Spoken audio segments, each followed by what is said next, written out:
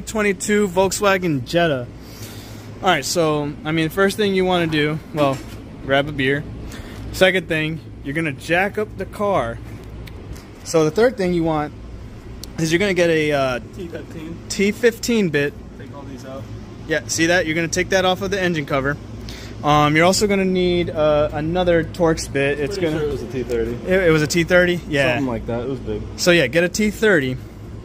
You're gonna remove the uh, the middle, the middle of the engine cover, and then after that, there's uh, there's two really dumb, two really dumb uh, parts that go on this back parts right here. So what you want to do is uh, get a pair of snips, um, something that's just to cut the engine cover, so that you could just, you know, like remove it, and then uh, once you once you cut it out, you just throw your engine cover in the trash and it's just a regular oil change.